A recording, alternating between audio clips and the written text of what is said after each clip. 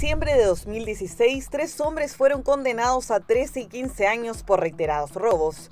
Pese a que existían diferentes grabaciones como medio de prueba, las fotos y publicaciones subidas a la red social Facebook ayudaron a la investigación. Una situación que hizo que los defensores presentaran un recurso de nulidad ante la justicia, ya que según ellos el uso de información obtenida en Facebook pasaba a llevar la privacidad de los sujetos.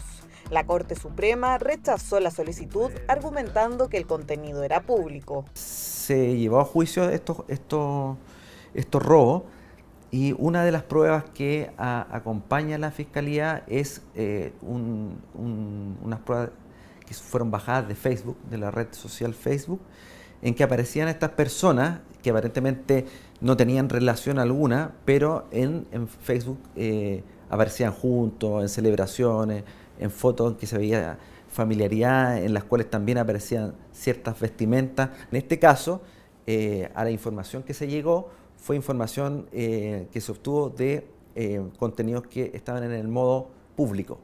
Y como estaban en el modo público, cualquier persona podía acceder a ellos. Todos los medios de prueba dependen en definitiva de la capacidad de generar una convicción en el juez. Entonces, efectivamente no hay una restricción y por cierto que los medios de prueba, eh, que son los textos, los posteos que uno hace en las redes sociales o incluso las fotografías, etcétera, pueden servir de medios de prueba.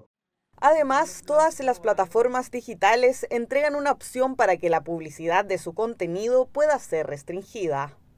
En las redes sociales, a, menos que uno establezca una, una limitación, con el diseño, las opciones que te dan las mismas redes sociales, la información que uno postea ahí es pública porque uno no restringió. Una decisión que marca precedentes y define una postura del máximo tribunal sobre la legitimidad de utilizar estos recursos que surgen como fuente de información para resolver delitos. Acorde avanza la tecnología.